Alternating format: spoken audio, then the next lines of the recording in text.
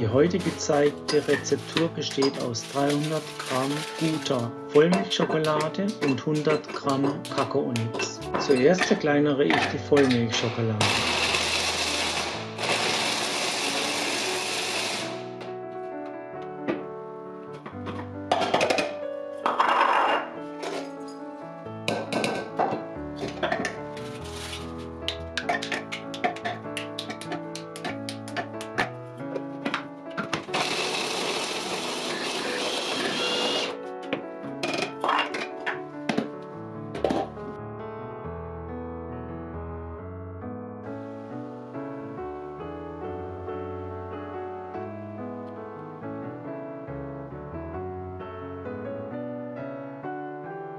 Geröstet wird in meiner Kaffeeröstmaschine.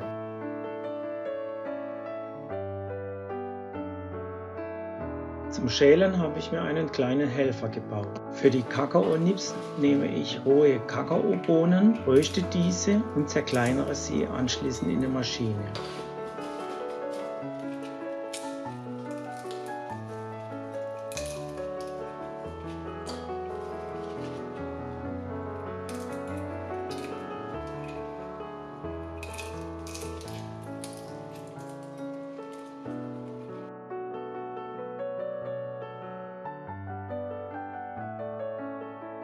Jetzt noch zerkleinern, dann habe ich alle Zutaten. Natürlich kann man auch ungeröstete Kakaonips verwenden, die sind allerdings etwas härter.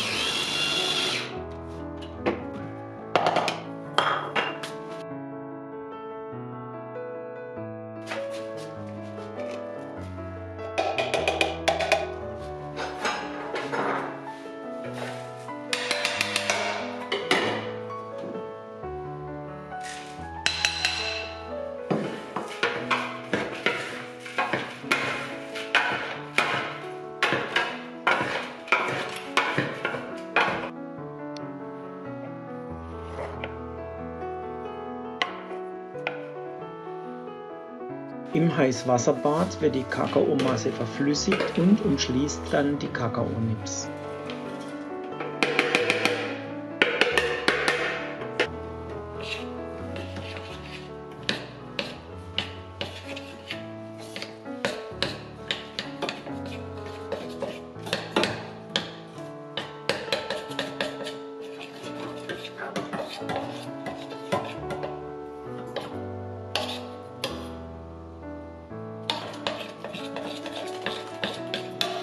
Gieße ich die heiße Schokomasse auf eine Backfolie und verteile sie dünn mit einem Teigschaber. Leider ist mir die Aufnahme missraten, sodass ich keine Bilder zeigen kann.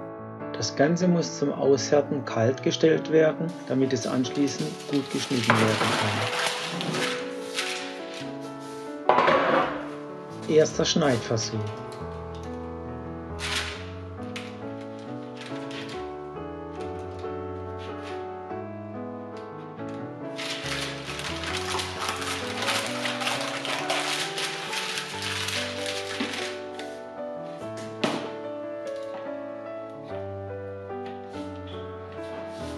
Jetzt die bessere Variante.